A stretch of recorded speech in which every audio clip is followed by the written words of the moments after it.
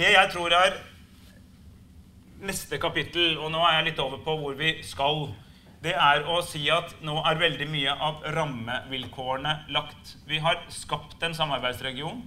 Eh, vi har lagt mulighetene for mer kontakt. Vi har blitt mer kjent. Det er mer kommunikasjon mellom mennesker. Eh, neste kapittel må gå på å virkelig utnytte disse mulighetene enda bedre. Det er å skape næringsgrunnlag. Eh, det er altså utnytte de enorme rikdommene altså her i nord, både på, i Finnmark, Nord-Norge generelt, på russisk side, i Nord-Finland, Nord-Sverige, er det masse ressurser. Det er massevis av ressurser. Altså Bare se herfra. Det er masse fisk i havet.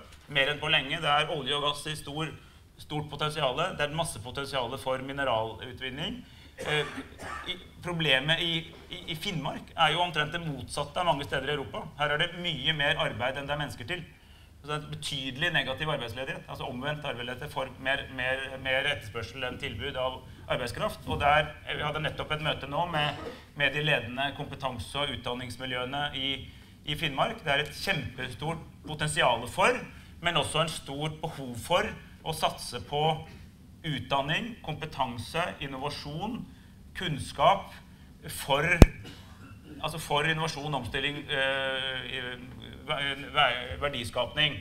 Eh, men også for god forvaltning. For de som alle vet, og som er en, er en, daglig del av debatten, og kommer til å bli enda mer en del av debatten, det kommer til å bli viktige avveininger mellom f.eks. Eh, eh, tradisjonelle altså mellom reindrift og gruvedrift, for å ta et eksempel, og mange andre spørsmål som alltid dukker opp når man er i en sånn vekstregion som jo dette er, og i enda større grad kommer til å bli. Det jeg er opptatt av, er at det som vi jo skal holde på med i nasjonal målestokk med det, også må ha en tydelig Barentsperspektiv.